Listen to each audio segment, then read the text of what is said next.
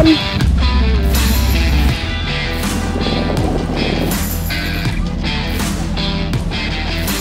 Gil!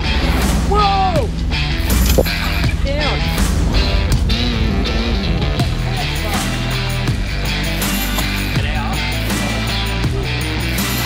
Tell you what, girls, they don't teach this at school.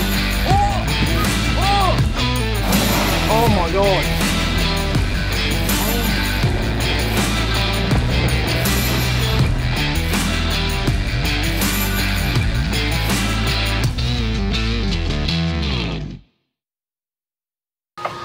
So, this is the basic rundown that I didn't really include before. When we had the runaway motor coming into Exmouth, I thought it was the injectors and the fuel injection pump.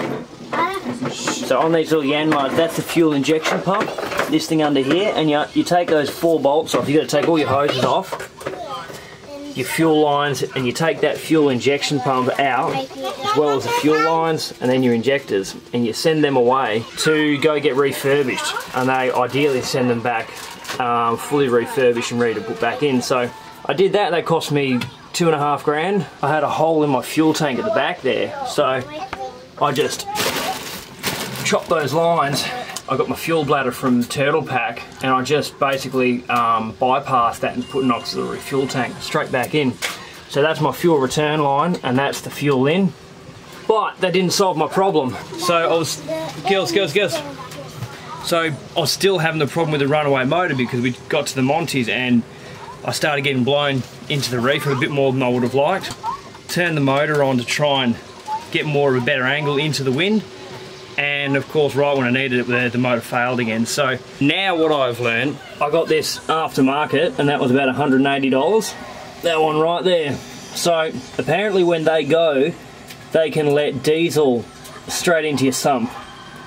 So long story short is as long as my pistons aren't cracked uh, my piston rings aren't cracked or anything like that fuel comes in through the water separator into that fuel lifter pump and ideally not pushing diesel into my sump back through because what was happening diesel was getting into the oil sump which was causing the high pressure which was for forcing it out of the out of this out of the head.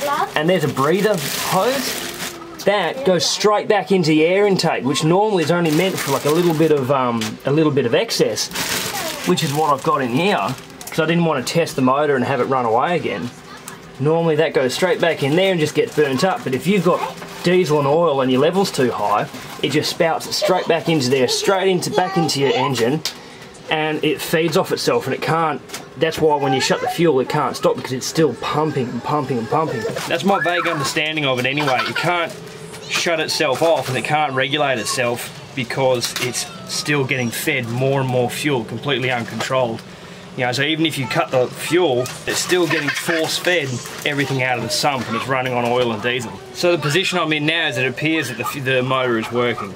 But last time I motored for a day and didn't have an issue. So that's the rundown. Yep.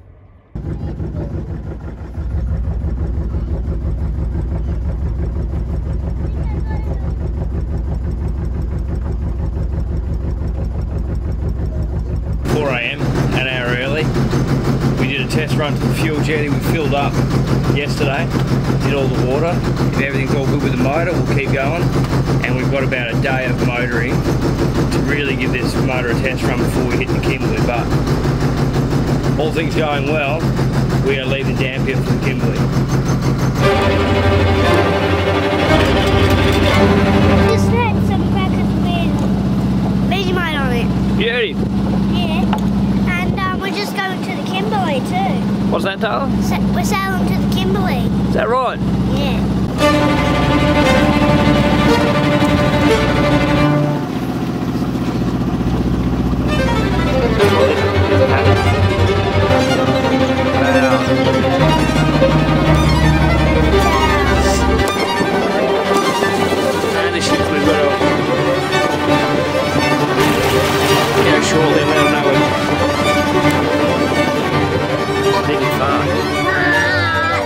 Turned the motor off and um, we're still doing two knots. So we're just gonna let the sun go down and cruise cruise along because I've come to the realisation that we're to be spending a long time out here and I'm just to take it easy and we'll just gently make our way up to Broome. And if we time it well, we'll get there by the weekend. It's only Wednesday, so we'll just spend some time out in the water and slowly make slowly make our way up. Sound good? Jesus. Holy moly, Isla.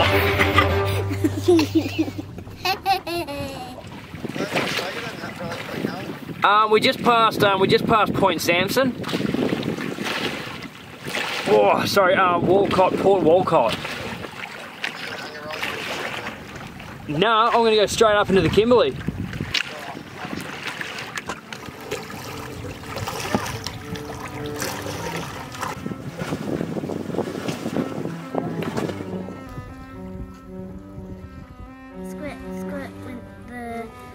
Toothpaste. Squid, squid went the possum as he ran into the toilet. Oh, not the toilet. Look at him. Look at him. and then look, he's all wet in the toilet.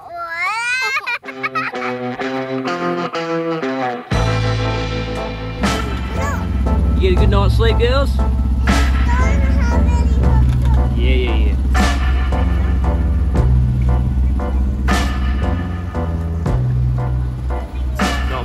But it's a little.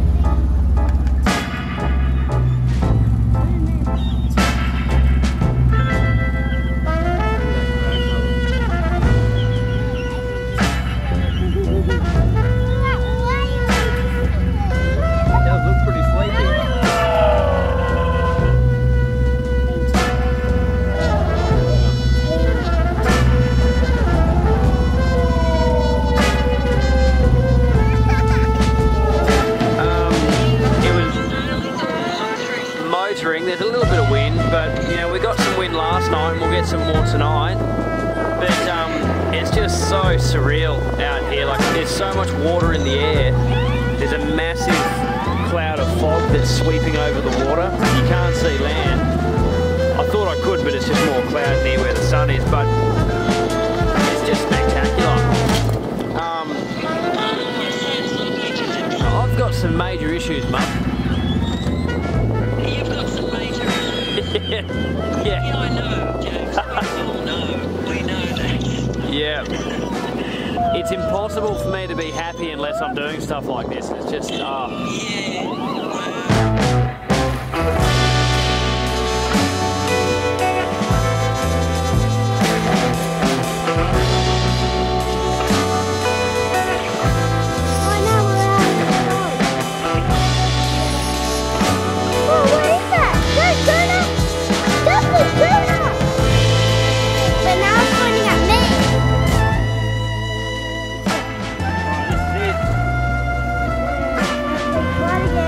Big bluefin tuna. Guess that's like a meter. Don't forget we have to get the lure out of the mouth. What we get, Isla? We we have the tuna in the bucket. Big tuna in the bucket, eh? Oh, Show us, Hallie. Oh! Oh, look at it. Still got the hook on it. How good is that? We just had the line go off, even though it's thick as fog, it doesn't matter underwater for the fish apparently. I didn't do a great job of rigging up my line, so I had to pull half of it in by hand, but you know, you win some, you lose some. We managed to get it in in one piece, it got a good bite on it. We have a beautiful bluefin tuna. The problem that we have now is that I still can't see a goddamn thing and we're getting really close to Hedland, which is the busiest port in Australia. And I've tried to radio VTS and they don't seem to want to answer. Um, someone else heard us, but for whatever reason they're not answering. I think we're going to have to just try and maybe get a little a little shallower, and I may just have to sit here because if I go any further, I'm going to get fucking annoying that they're not answering, and on top of that, the girls are bored, so they're just screaming. They have like they're like playing, but it's just them fighting. I think I might, um, I think I might actually turn the motor off and just sit here. This is us waiting. I can hear the whales slapping. Can you guys shut?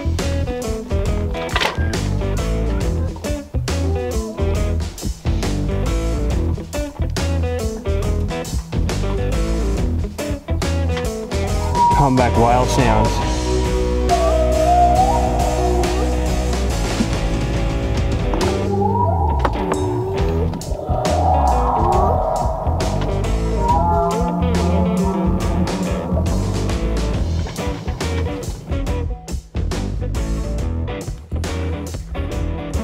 Gills up here.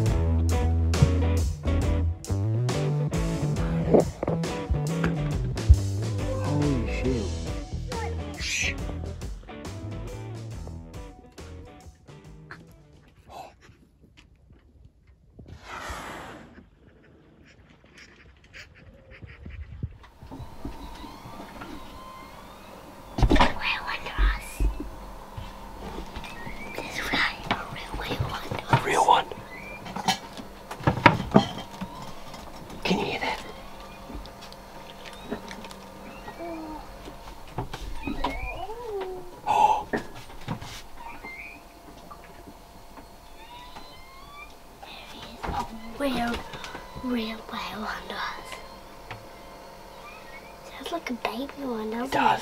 Can you hear the whale, Isla? It, it's going right in my, my, um, my ear. Hallie, go have a look outside, see if you can see one. Ooh, is that a whale? Ooh, ooh. No, that's a little bust up. Huh? Oh,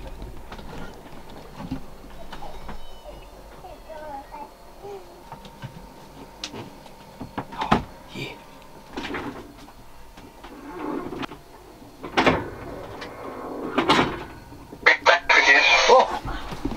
We've been playing whale, humpback whale noises in the boat so it vibrates into the water. We've had all these whales singing back to us and there's like a little one, sounds like a little one making squeaky noises.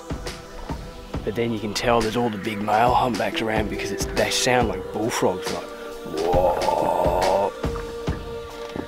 We're just floating in the mist. I've heard, I heard over the radio, apparently it's clearing up a bit. But we're just bobbing around.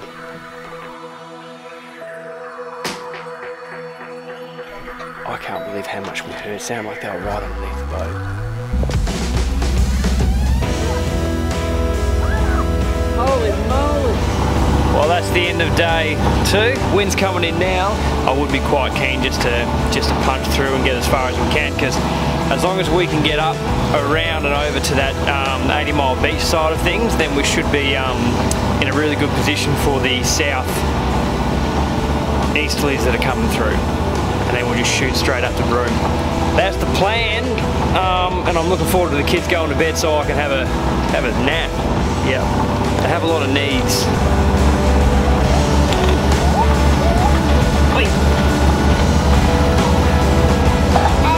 Up to? Ships on the horizon.